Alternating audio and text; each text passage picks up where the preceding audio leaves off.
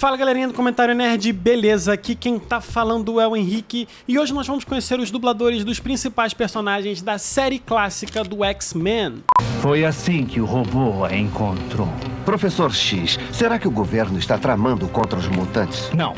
A Agência de Controle dos Mutantes é uma organização particular. Às vezes. Sim, galerinha, recentemente foi divulgado né, o primeiro trailer dublado aí do X-Men 97, se eu não me engano, que obviamente é uma recriação da clássica série animada dos X-Men, que nos Estados Unidos recebeu o nome de X-Men Animated Series, e aqui no Brasil, obviamente, essa série tem uma dublagem muito marcante, principalmente porque tem vozes que seguiram ao longo de vários tempos dublando os principais personagens do X-Men. E hoje nós vamos conhecer a dublagem da primeira série né, do X-Men, da, da série animada lá do, dos anos 90, que é essa série que se popularizou tanto. Mas antes, obviamente, eu queria pedir para você atrás de esmagar o like, se inscrever no comentário nerd caso você não seja inscrito e também seguir as nossas redes sociais que estão aparecendo aí na tela para vocês. Ah, e vale lembrar que como tem muito personagem, que tem vários dubladores, tem uns 5, 6 personagens que tem quatro dubladores diferentes, obviamente eu vou ter que fazer aquele molde do quem dubla onde eu não falo de outros trabalhos dos dubladores, obviamente para poder mostrar para vocês o máximo da dublagem dessa produção. E vamos começar como nós sempre começamos, que é pela parte da produção. A dublagem da série animada clássica dos X-Men foi realizada nos saudosos estúdios da Ebert Richards e contou com a direção do Mário Monjardim e da Ilka Pinheiro. Beleza, vamos começar a falar dos personagens, obviamente começando pelo mentor dos X-Men, que é o Professor Xavier. E ele teve o seu áudio original sendo feito pelo Cedric Smith. No Brasil, o Professor Xavier teve dois dubladores ao longo dessa animação. Na verdade, ele teve um dublador principal e um dublador que dublou ele em duas situações. O dublador principal dele, obviamente, é o Zack Snyder, que dublou ele na primeira, segunda, terceira e quarta temporada. O outro dublador que ele teve foi o Carlos Cedil, que dublou ele na quinta temporada, dos episódios 9 ao 14.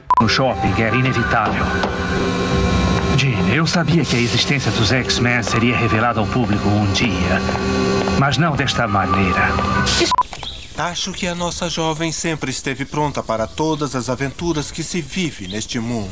Falamos do professor Xavier, agora temos que falar da mutante mais poderosa, obviamente a Jean Grey, que teve o seu áudio original sendo feito pela Catherine Disher. No Brasil, ela só teve uma dubladora, que obviamente foi a Silvia Salusti. Espere um instante. Aqueles monitores estavam ligados.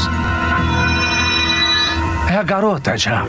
Está tentando escapar. Falamos da Jean Grey, agora vamos falar dele, um dos X-Men mais queridos, que é o Wolverine. E o Logan teve o seu áudio original sendo feito pelo Cattle Dude. No Brasil, ele teve dois dubladores. Na verdade, ele teve um dublador principal, que foi o saudoso Isaac Bardavi, que o dublou na primeira e na segunda temporada, e da, do primeiro episódio até o décimo episódio da terceira temporada, e depois ele foi dublado pelo Francisco José, que dublou ele a partir do décimo primeiro episódio da terceira temporada.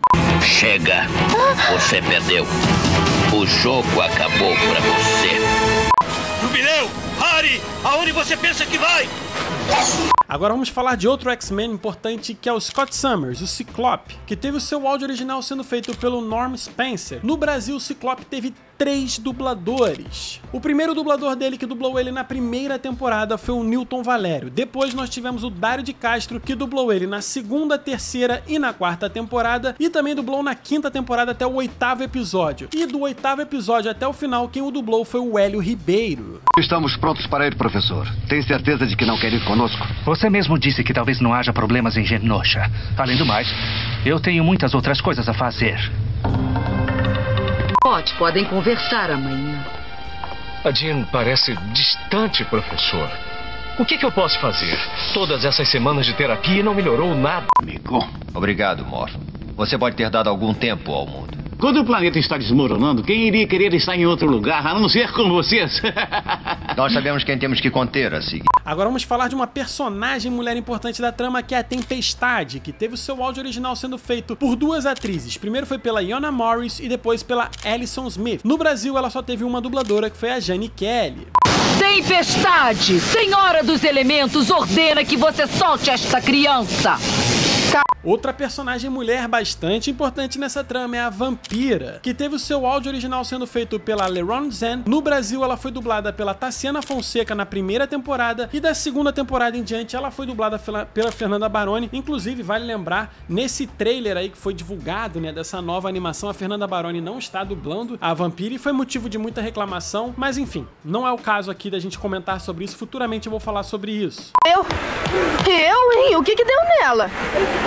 Vocês distraem Tempestade enquanto eu absorvo seus poderes. Isso vai segurar um pouquinho a onda dela. E deixá-la. Outro personagem importante dos X-Men é o Fera, que teve o seu áudio original sendo feito pelo George Buza. No Brasil, o Fera teve dois dubladores. Primeiro ele foi dublado pelo Leonel Abrantes, que dublou ele na primeira, na segunda e até o décimo episódio da terceira temporada, e depois, dali em diante, ele foi dublado pelo Jorge Vasconcelos.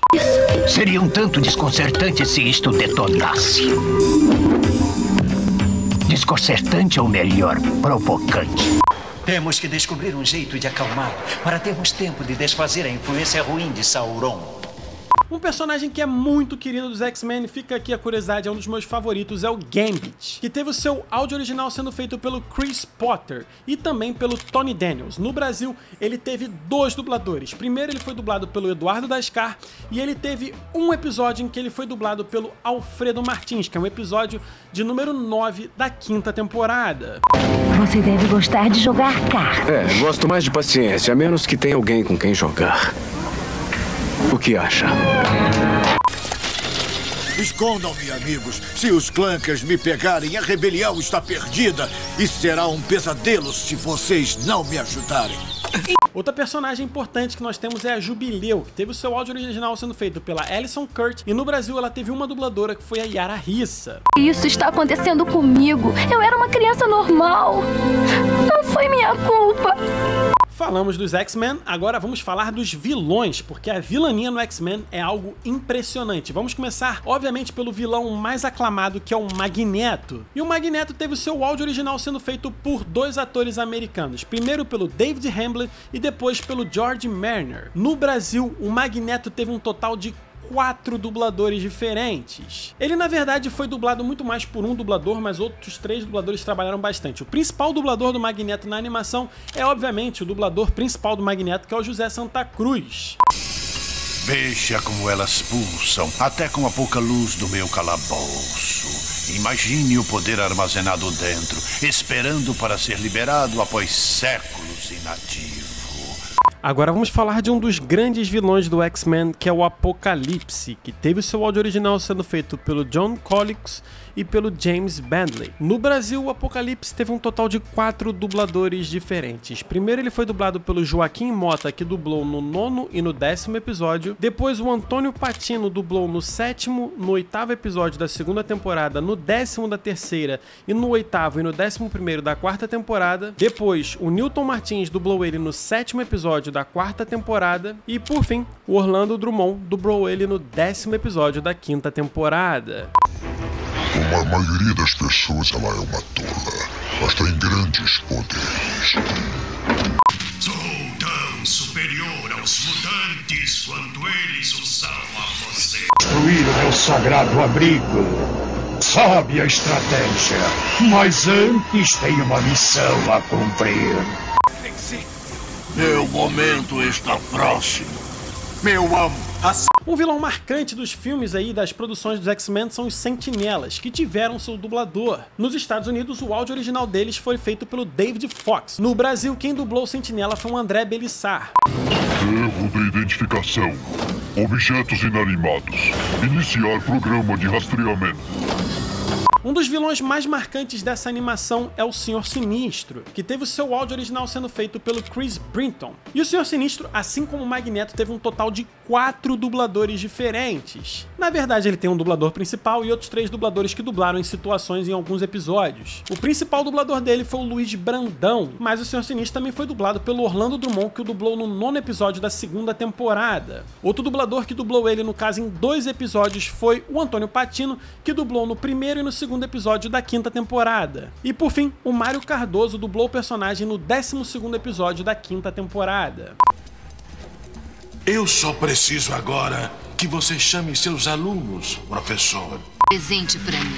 Sim. Um dia eu pedirei retribuição. Então? Dr. Charles Xavier não está mais com os X-Men. Grande perigo! Eu vou ampliar o sinal da antena. Força total! Professor, está me ouvindo? Professor! Sinistro, mas o que? Xavier, tem que me ajudar, essa coisa. Essa... Excelente! Sinto-me um novo homem! Agora vamos falar de um dos vilões aí que a gente mais curte, que é o Dente de Sabre, que teve o seu áudio original sendo feito pelo Don Franks. No Brasil, Dente de Sabre teve quatro dubladores também. O Dente de Sabre na primeira temporada foi dublado pelo Orlando Drummond, que também o dublou até o terceiro episódio da segunda temporada. Depois, o Hamilton Ricardo dublou o Dente de Sabre em dois episódios, que foi no 19 da terceira temporada e no nono da quinta temporada. Outro dublador que dublou ele em alguns episódios foi o Guilherme Briggs, que o dublou no nono episódio da quarta temporada, no décimo também da quarta temporada, no décimo sexto da quarta temporada e, por fim, no sexto episódio da quinta temporada. E, por fim, o Ricardo Vogt dublou ele no décimo terceiro episódio da quarta temporada. Ora, sem o Professor Xavier, não existem os X-Men. Seu cretino safado. Isso não é jeito de receber um amigo, lobo. Depois de tudo o que passamos. Isso aí, Nanico. Acorda pra cuspir. Cara. Não pode cuidar da sua mulher. Mulher! Mulher! Mais um vilão que nós temos é o Henry Peter, que teve o seu áudio original sendo feito pelo Barry Flatman. No Brasil ele teve três dubladores, o Roberto Macedo dublou ele na primeira temporada inteira, depois ele apareceu em outros dois episódios, onde ele foi dublado no, no terceiro episódio da quarta temporada pelo Mário Cardoso e no décimo quarto episódio da quinta temporada pelo saudoso Júlio Chaves. A sua filha tem algum amigo mutante? Reconhece alguma dessas moças?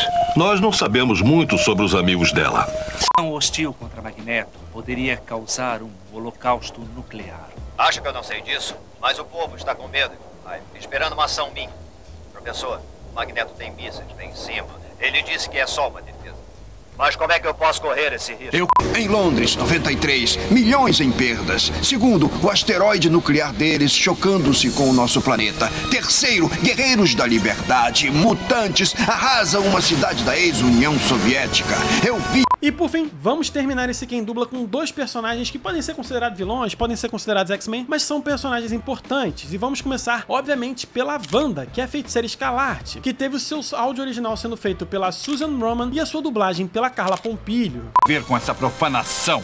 Estamos aqui para nos vingar por alguém que cruzou o seu caminho. E outra personagem que todo mundo curte é Psylocke, que teve o seu áudio original sendo feito pela Carrie Tremblay e no Brasil ela foi dublada pela saudosa Nádia Carvalho. O que está procurando?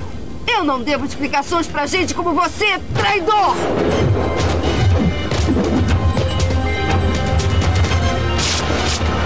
Ufa, então é isso, esse foi o Quem Dubla de hoje, mostrando pra vocês os dubladores dos principais personagens da série animada clássica dos X-Men. Lembrando que na descrição tem um linkzinho da Dublanet com todos os dubladores que trabalharam nessa produção. Obviamente, alguns personagens não deu pra colocar aqui, porque muitos personagens tinham quatro, três dubladores ao longo de toda a produção. Lembrando que vai ser lançado o X-Men 97 aí, que é uma animação que está revivendo né, essa animação clássica e infelizmente alguns dubladores que estão disponíveis no mercado não vão dublar os seus personagens. O que eu posso dizer para vocês, que é o que todo mundo sabe, inclusive acho que vai ser o diretor da dublagem, o Sérgio Cantu revelou, foram feitos testes, eles obviamente chamaram os dubladores que são os dubladores clássicos do personagem e aí cabe entender porque foi escolhido outros dubladores. Na minha opinião, isso é uma furada, assim, é, é um erro, é triste você saber disso, mas enfim, mais para frente, quando a animação for lançada, a gente vai obviamente se aprofundar mais nisso. O que eu posso dizer é, eu particularmente fiquei bastante feliz com essa nova animação sendo lançada, com a estética antiga